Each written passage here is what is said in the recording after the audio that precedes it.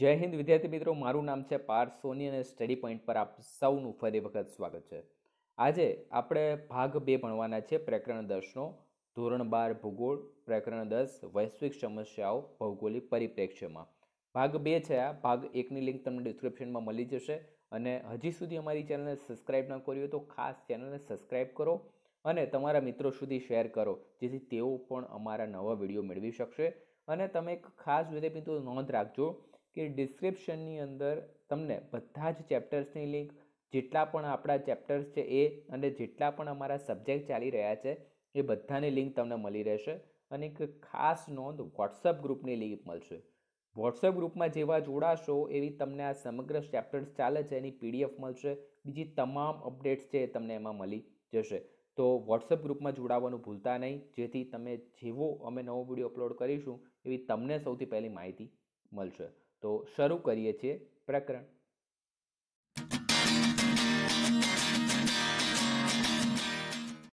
તો વિદ્યાર્થી મિત્રો, ગયા પ્રકરણની અંદર આપણે ભણ્યા હતા ગરીબી. ગરીબી પછી એક બીજો ગંભીર મુદ્દો આવે છે, વૈશ્વિક સમસ્યા છે, એ છે ભૂખમરો. તો વિટામિન શરીર ટકાવી રાખવા માટે જરૂરી પોષક દ્રવ્યો અને ઉર્જાની શરીરમાં ભારે ઉત્પત્ત ઉણપને આપણે ભૂખમરો કહે છે. કુપોષણનું આ અત્યંત વકરું અને અંતિમ સ્વરૂપ છે. આ સ્થિતિ લાંબા સમય સુધી રહે તો શરીરમાં કેટલાક અંગો કાયમી ધોરણે ક્ષતિગ્રસ્ત થઈ શકે છે અને આ સંજોગમાં વ્યક્તિનું મૃત્યુ પણ થઈ શકે છે. એટલી ગંભીર સમસ્યા છે. આ વૈશ્વિક સમસ્યા તરીકે એટલે આને નામ આપવામાં છે ભૂખ મરો. તો એના વિશે થોડી વિશેષ સમજૂતી મળે તો આ સમસ્યા છે શું? તો અનાજની ભારે અછતથી આ સમસ્યા પેદા થાય છે અને આવી સ્થિતિ સર્જાવા પાછળ દુકાળ, ભૂકંપ તેના પછી પૂર, વાવાઝોડું, તીડ વગેરે કીટકોનો ઉપદ્રવ્યો વગેરે કુદરતી કારણો હોય છે.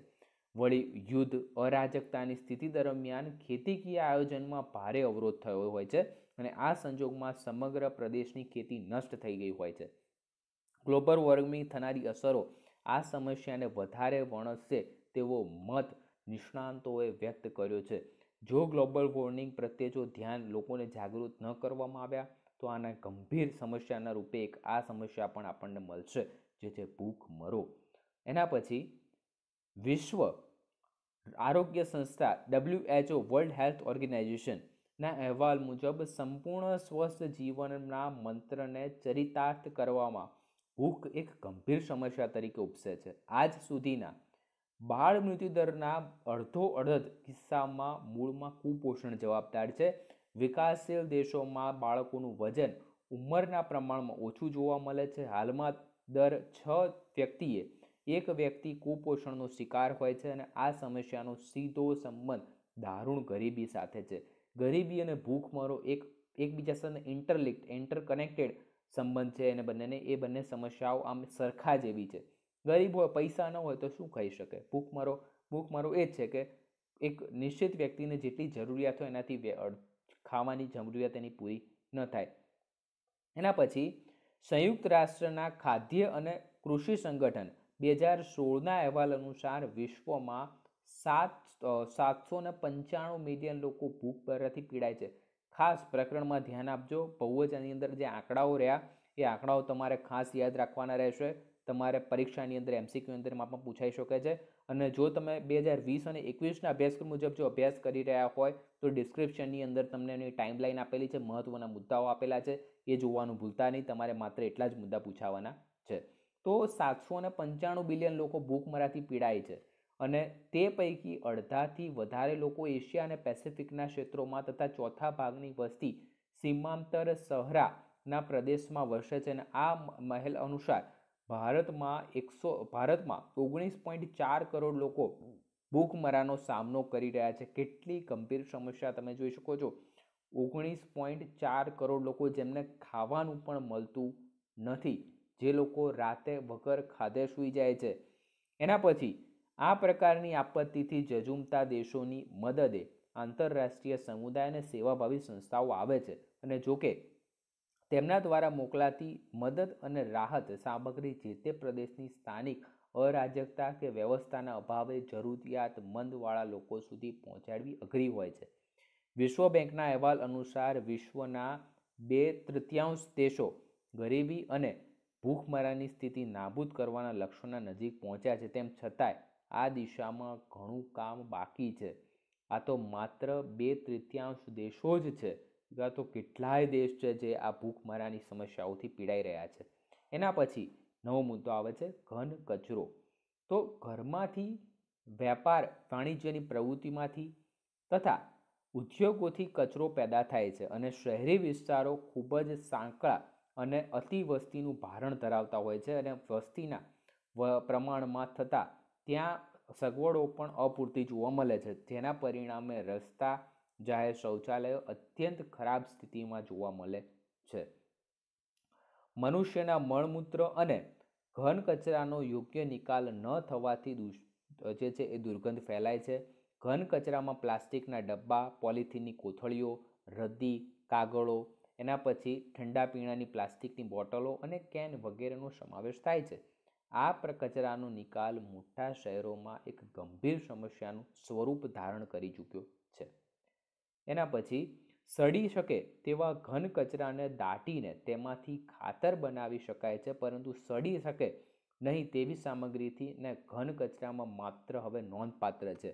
રોજબરોજના ઉપયોગમાં પ્લાસ્ટિકની થેલીઓ, બાટલીઓનો નિકાલ સ્થાનિક કક્ષાએ કરવો અઘરો છે. આધુનિક જીવનશૈલી તથા વાપરો અને ફેંકી પ્રથા મુજબ કચરાની માત્રા સતત વધતી જાય છે. કંઈ પણ અત્યારે મોટા ભાગના તમે પ્રસંગ જુઓ, એટલે કે એવી ઇવેન્ટ જુઓ, જે નાની એવી ઇવેન્ટ હોય, તો બધા શું કરે? ડિશવોશેબલ એટલે કે જેને યુઝ એન્ડ થ્રો વસ્તુઓ ડીશ ડીશ કેવી? તો યુઝ એન્ડ થ્રો, ખાઓ અને ફેંકી દો. પાણીના ગ્લાસ કેવા? ખાઓ અને ફેંકી દો. બાઉલ્સ કેવા? ફાવ, ખાઓ અને ફેંકી દો. સ્પૂન કેવી? ચમચીઓ કેવી? તો કેવી? ખાઓ અને ફેંકી દો. તો આના કારણે અઢળક કચરો ભેગો થાય છે. તો આ એક ગંભીર સમસ્યા છે. હવે એની સમસ્યાઓ કેવી? તો જુઓ, કચરો જો યોગ્ય રીતે નિકાલ ના કરાય તો મોટી સમસ્યા બની જાય છે. એટલું જ નહીં, તે દરરોજ નિયમિત રીતે નિકાલ ના પામે તો પણ સમસ્યા સર્જે છે. હાલમાં કચરાના નિકાલની વ્યાપકપણે વપરાતી પદ્ધતિ તદ્દન અવૈજ્ઞાનિક અને અવ્યવહારુ છે. કોઈ પણ એક પદ્ધતિ કોઈ છે જ નહીં એમ કહી શકીએ આપણે. તેમાંના મોટા ફેરફારો કરવા જોઈએ. મોટા શહેરોમાં સંગ્રહિત કચરાના ઢગલામાંથી લાગતી આગથી આગથી જે છે એ આજુબાજુના તમારા વિસ્તારોમાં ધુમાડો જે છે એ માનવ વસાહત અને રહેઠાણના માટે ભારે મુશ્કેલી સર્જે છે. બે હજાર સોળમાં મુંબઈ ખાતે કચરાના ઢગલામાં લાગેલી આગને ઠારતા દિવસો લાગ્યા હતા અને તેમાંથી વધુ માત્રામાં હવાનું પ્રદૂષણ ફેલાયું હતું. અહીંયા ગુજરાતની વાત કરીએ તો ગુજરાતની અંદર અમદાવાદમાં આવેલા પિરાણા ડમ્પિંગ સાઇટ. જો તમે કદાચ યુટ્યુબમાં યા તો તમે કદાચ જો અમદાવાદમાં રહેતા હોય કે અમદાવાદમાં ક્યારેક ગયા હોય, તો એ પિરાણા ડમ્પિંગ સાઇટને તમે મોબાઈલમાં કે એમાં સર્ચ કરી જોજો.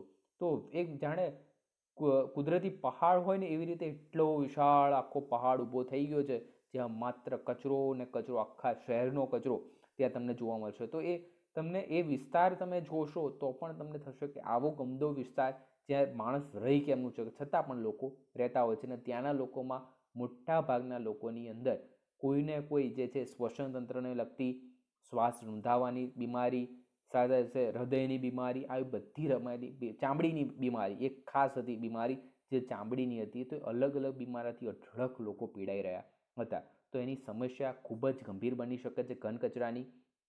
હવે ઘન કચરાનો નિકાલ મોટે ભાગે નીચે જમીન કે, નીચે જમીન કે ખાડો પૂરી તેમ નવસાધ્ય કે વપરાશ યોગ્ય બનાવવા થાય છે. જોકે હવે આ, આવા સ્થળો શહેર પાસે બચ્યા જ નથી અને કિંમતી જમીનો પર કચરા ઢગલા કરવા આર્થિક રીતે પોષાય જ નહીં અને આ સંજોગોમાં ભવિષ્યમાં કચરાનો નિકાલ એ વિકટ સમસ્યા બનશે. એટલે કે પહેલાં શરૂઆતમાં શું થતું કચરાનો ઢગલો હતો, રેતી કપચીનોને જે આપણે કહીએ કે કન્સ્ટ્રક્શનનું કામ ચાલતું હોય તેનો જે કચરો હોય તો અમુક એવી જમીનો હોય કે જ્યાં આગળથી શું કરવું પડે?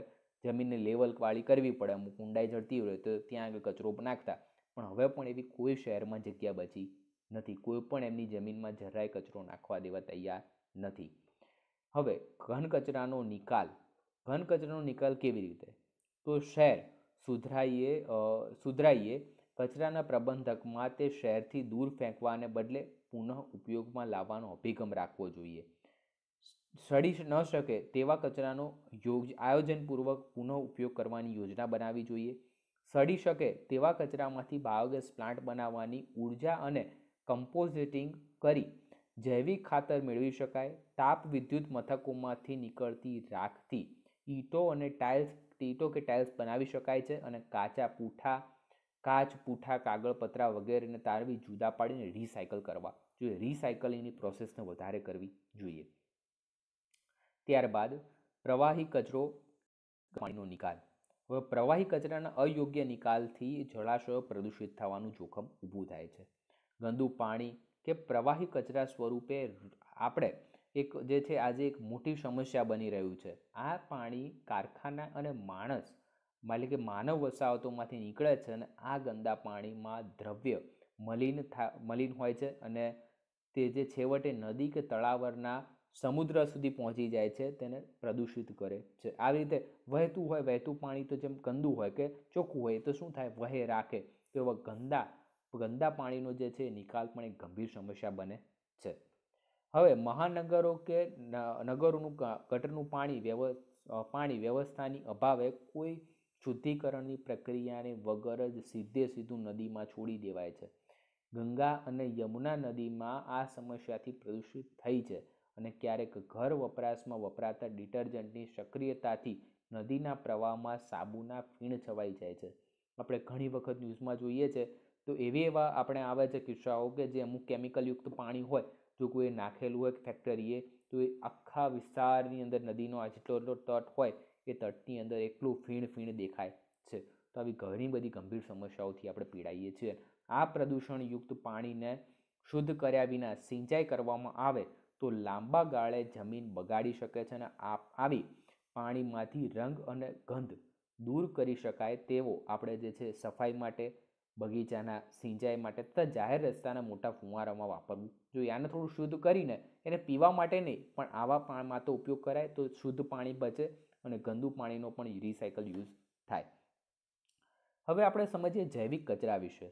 તો કોઈપણ ઘન કે પ્રવાહી કચરો કે જેને માનવ કે પ્રાણીના રોગના નિદાન, સારવાર કે વાટકામ થકી પેદા થયો હોય તો તેમાં વપરાયેલા સાધન સામગ્રી જેવા કે પાટા, રૂ, કાઢી નાખેલું પ્લાસ્ટર, હાથ મોજા, ઇન્જેક્શન, ગ્લુકોઝના ખાલી બાટલા, દવાની ખાલી બાટલીઓ, સોય વાટકાપના સારવારના દરમિયાન કાઢેલા અંગો વગેરે ચીજોનો જૈવિક કચરાની અંદર સમાવેશ થાય છે. જૈવિક કચરો એટલે કે દવાખાનાઓની અંદર જે વપરાતો કચરો હોય, એની અંદર જે નીકળે કચરો સિરીઝ હોય, બરાબર? ઇન્જેક્શન આપેલી, ઘણી બધી એવી બધી ઓજારો ના તે ઘણું બધું હોય, તો એ જૈવિક કચરા તરીકે ગણવામાં આવે છે. હવે, આ પ્રકારનો કચરો વેટરી વેટનરી દવાખાના, અન્ય નાના મોટા દવાખાના, હોસ્પિટલો, પેથોલોજીકલ લેબોરેટરી, પ્રયોગશાળાઓ, મેડિકલ કોલેજો, સંશોધન માટે પ્રાણીઓ પર દવાની અજમાયશ કરતી પ્રયોગશાળામાંથી નીકળતા કચરાનો સમાવેશ જૈવિક કચરામાં થાય છે અને આ કચરો ચેપી લાપણાના તથા તો વિષ વિષાક્ત એટલે કે દ્રવ્યોને કારણે ખૂબ જ જોખમી બની જાય છે. આ જે હોય એની અંદર શું થાય કે શરીર જે છે, જે શરીરના અંગોમાંથી કે પ્રાણીના કોઈ અંગો હોય કે એવી કોઈ વસ્તુ હોય, દાખલા તરીકે સો ઇન્જેક્શન હોય અને ઇન્જેક્શનની અંદર સામેવાળા વ્યક્તિને શું બીમારી થઈ હતી તો ઇન્જેક્શનની જે સોય હોય એ વાઘનાને ખબર પડે નહીં. ક્યાંક એ કચરો રસ્તામાં નાખી દીધેલો હોય અને કોઈને વાગી જાય તો જે પેલી વ્યક્તિને ઇન્ફેક્શન થયું હતું તો આ વ્યક્તિને પણ થાય અને એના કારણે ગંભીર સમસ્યા ઉદ્ભવે છે. હવે, આ કચરાનો એટલે કે તબીબી અપશિષ્ટ સોરી અપશિષ્ટનો નિકાલ સામાન્ય કચરાની જેમ જો કરાય તો તેનાથી રોગનો ફેલાવો થાય છે. તેથી તેનો નિકાલ ખૂબ જ સાવચેતીથી અને વૈજ્ઞાનિક ઢબે કરાય. તે અત્યંત જરૂરી છે. આ કચરાનો સામાન્ય એટલે કે ખાસ નિશાનવાળી અને રંગ ધરાવતી કોથળીમાં ભરવામાં આવે છે. તમે પુસ્તક ખોલશો તો પુસ્તકની અંદર એ તમને આપેલી છે નિશાન. રાઉન્ડ રાઉન્ડ કરીને એક તીર જેવી નિશાનીઓ છે. તમે જોશો એટલે તમને ખબર પડી જશે. તેની હેરફેર કરનારાઓમાં બૂટ, માસ સાથે સાથે હાથમાં મોજા અને એપ્રન સૂટ પહેરીને કામ કરે અને તેને નિકાલ કરવા દૂર લઈ જતું વાહન બંધ બોડીનું ખાસ પ્રકારનું બનાવેલું હોવાથી કાયદાકીય જોગવાઈ મુજબ જરૂરી છે. વળી આ વાહન પર ખાસ પ્રકારનું સાંકેતનિક ચિહ્ન અંકિત કરેલું હોય છે. તો અન્ય કોઈ વ્યક્તિએ વાહનને અડે નહીં. તો એ તમે ચોપડીની અંદર આપેલું છે. વાહનનો ફોટો તમે જોઈ શકશો. એના પછી મોટી હોસ્પિટલ અને દવાખાનામાંથી રોજે રોજ નીકળતા આ કચરાનો યોગ્ય નિકાલ પડકારજનક કામ છે અને આ કચરાને ખુલ્લો બાળવાથી પણ ચેપ ફેલાવાની સંભાવના રહે છે. તેથી તેને ખાસ પ્રકારની બંધ ભઠ્ઠીમાં ખૂબ સાવચેતીથી નિશ્ચિત તાપમાને બાળવામાં આવે છે. બાળ્યા બાદ નીકળતી રાખને પણ રાસાયણિક પ્રક્રિયા કરીને ચેપમુક્ત બનાવીને નિકાલ કરાય છે. મોટા શહેરોમાં સુધરાય તેના નિકાલ માટે ખાસ વ્યવસ્થાઓ ઊભી કરાય છે. હવે, બીજે નવા મુદ્દા પર વાત કરીએ તો માનવ મળમૂત્ર નિકાલ. તો વધતી જતી વસ્તી સાથે માનવ મળમૂત્ર નિકાલનો સવાલ પણ જોડાયેલો છે. જો તેનો યોગ્ય રીતે નિકાલ ના કરાય, તો તે ગંદકી અને રોગચાળા ફેલાવે છે. વરસાદી પાણી સાથે વહીને જળ સ્ત્રોતોને દૂષિત કરે છે. તે પાણી બિનઉપયોગી બની જાય છે. તે જમીન પર પડી રહેલા અને ફેલાય છે અને તેનો, તે અનેક રોગોને ફેલાવવા માટે જવાબદાર બને છે. તો આ માનવ મળમૂત્રનો નિકાલ પણ જરૂરી છે. તેનો નિકાલ કરવા માટે શૌચાલયની સગવડ ઊભી કરવી જોઈએ. જ્યાં ગટરોની વ્યવસ્થા નથી, ત્યાં સસ્તા પ્રકારમાં એટલે કે બે ખાડાવાળા શૌચાલય બનાવવા જોઈએ. માનવ મળમૂત્રમાંથી કિંમતી ખાતર બનાવી શકાય છે અને તેનો ફાયદો મેળવી શકાય છે. ગટરના પાણીને શુદ્ધ કરી તેના સિંચાઈ તેમ કે, સિંચાઈ કે વપરાશ માટે યોગ્ય બનાવી ફરી ઉપયોગમાં લેવું જોઈએ. આ એના ઘણા બધા ઉપાયો છે. નવી વસાહતોના નિર્માણ અને જૂની વસાહતના વિસ્તરણ સમયે નવનિયોજન કરવામાં આવેલી ગટર અને સુવેજનું આયોજન શરૂઆતથી જ કરવું જોઈએ. નાગરિક અને રાજ્યતંત્રનો દ્રઢ ઈચ્છાશક્તિથી નિર્ધારિત કરીને આ સમસ્યાઓ પર ધ્યાન આપે તો તેનાથી ઊભી થયેલા પડકારોને ઝીલી શકે છે. સાથે સાથે સરકાર અને તંત્ર તો આપે છે, પણ નાગરિક તરીકે આપણે પણ એવી જવાબદારી રાખવી જોઈએ કે આપણે બને ત્યાં સુધી જળ પ્રદૂષણ, ભૂમિ પ્રદૂષણ, વાયુ પ્રદૂષણ, ધ્વનિ પ્રદૂષણ બને ત્યાં સુધી એટલું ઓછું કરવું જોઈએ. જે આપણે સમજ્યા છે કયા કોને આપણે આગળ ભણ્યા એટલે આપણને ખબર જ છે કોને ધ્વનિ પ્રદૂષણ કહેવાય, જળ પ્રદૂષણ કહેવાય અને આપણે કેવી રીતે કરીએ છીએ એ પણ આપણને ખબર છે. તો બને ત્યાં સુધી એવો પ્રયત્ન કરવો કે દેશ છે કે આપણું વિશ્વ છે આવી વૈશ્વિક સમસ્યાઓમાંથી જલ્દી દૂર થાય, દેશને સાથ, સહકાર અને આપણા માર્ગદર્શનથી બીજાને પણ માર્ગદર્શન આપવું જોઈએ અને આવી સમસ્યાઓથી પડકારને દૂર કરવા જોઈએ. તો આપણે અહીંયા આપણું આ પ્રકરણ પૂર્ણ કરીએ છીએ. હજી સુધી ચેનલને સબસ્ક્રાઈબ ન કરી હોય તો સબસ્ક્રાઈબ કરો. તમારા મિત્રો સુધી શેર કરો, જેથી તેઓ પણ આ વીડિયો જોશે, તો એમને પણ ફાયદો થવાનો છે. અને તમારા મિત્રોને જ્યારે પણ તમે વીડિયો મોકલાવો, તો વોટ્સએપ ગ્રુપની પણ લિંક મોકલાવજો, જેથી વોટ્સએપ ગ્રુપમાં જોઈન થશે, તો એમને આ પીડીએફ ફોર્મ મળી જશે. તો હવે મળીશું આપણા નેક્સ્ટ વિડીયોમાં ત્યાં સુધી good bye thank you so much Jai Hind.